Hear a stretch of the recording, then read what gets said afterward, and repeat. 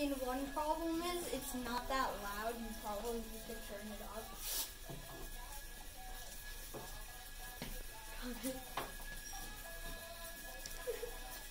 Can I join the squad? Can I go?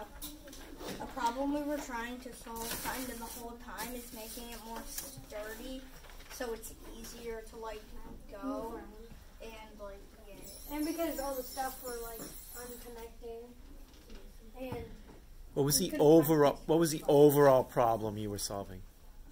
it falling apart. Um, also the wheels going the wrong way. Like we would try and get the wheels to go to the right way, but one wheel would be going forward, move, So if you were like and like not having headphones. yeah, like on a walk, and you wouldn't have to like carry around your phone on you or have stuff in your ears. It's a speaker that walks with you. Okay. Okay.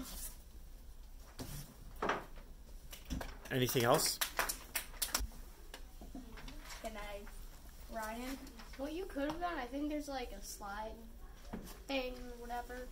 You could have put that on it. I think that could have made the volume a bit better.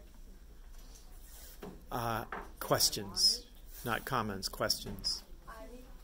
Um, do you think, what do you think, you, how, how could you make the speakers a little louder, like if you were trying to? Uh, I,